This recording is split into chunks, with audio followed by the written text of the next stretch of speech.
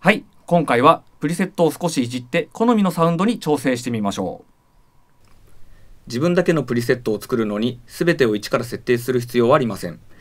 既存のプリセットを少し変えるだけでも好みのサウンドに近づけるはずです。ここではバンク QB のプリセットを使ってエフェクトのパラメータを調整したいと思います。